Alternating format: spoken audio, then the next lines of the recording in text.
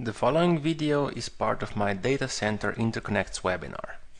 To learn more about my webinars, please visit my website. This is, for example, what Microsoft is doing in their high availability cluster. You have multiple servers. They are bundled together in a cluster. And then you define services to run on that cluster. In Microsoft's approach, it's an active standby configuration. So a service is running on one host, and if that host fails, the service is restarted on another host. How do you figure out that a host has failed? Well, they ping each other or whatever they do over the network, or you could do disk locking, or you could have a file, shared file system and you do file locking. And then some people get a weird idea that, you know, we should have the same cluster across two data centers.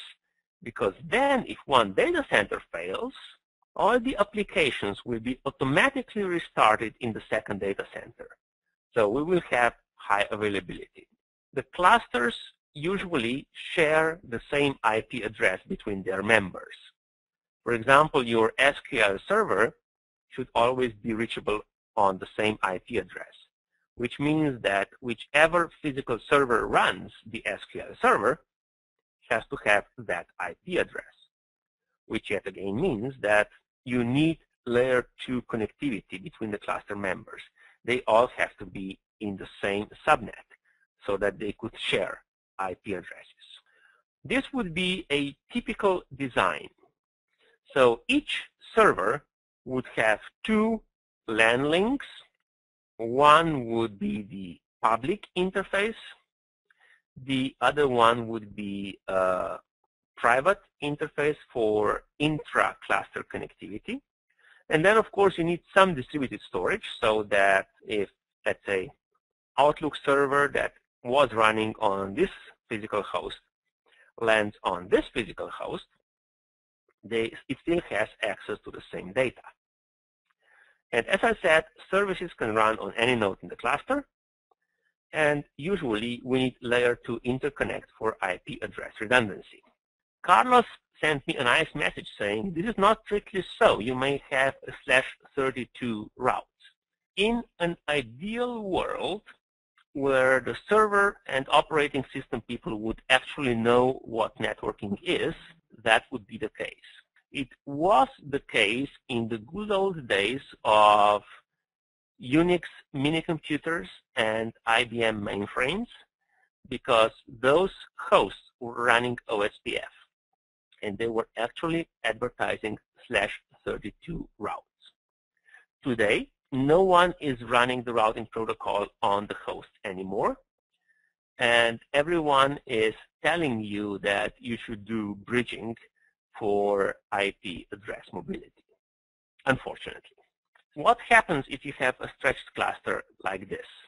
Number one, you could get suboptimal traffic flows because traffic would go like this and then to this side and then out here, in which case it would probably fail because of the firewalls. So it might have to go out this way and so on.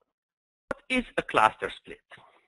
The idea of the cluster is that all the hosts know what the other hosts are doing, and they restart services after one of the hosts fails. However, you might get in a situation where a host really gets isolated from the network. So it's not, it hasn't failed, it's just unreachable. In that case, that host could panic and start all the services that everyone else should be running. And the other hosts would start the services that were running on this host. And if you would still have access to the storage, you would have a total disaster. To prevent that, all cluster solutions have so-called cluster quorum, which means that you have to be in the, after the split, you have to be in the bigger part of the cluster. If you're not, then you shut down. Which means that after the DCI link fails, and the cluster nodes figure out that they have a problem, they, they have lost quorum, half of the cluster nodes here on the right-hand side, for example, will shut down. So just because you've lost the interconnect link for a few seconds or maybe a minute, depends on what your timers are, you could lose half of the servers in the cluster. And because you've lost those servers, you've also lost all the services they were running. So all those services have to be restarted on the left-hand side. Remember, they're not moved over, they are restarted, which means, for example, for a database server, that it has to go and reprocess all the transaction logs, which is not done in seconds. It could be done in minutes. And of course, as with layer 3 data center interconnect, you could have potential black holes. But the worst problem is that the link in the middle fails, you lose half of the servers, you lose all the services they were running. To get more information about my webinars, to register for an online session, buy a recording or a yearly subscription, please visit my website.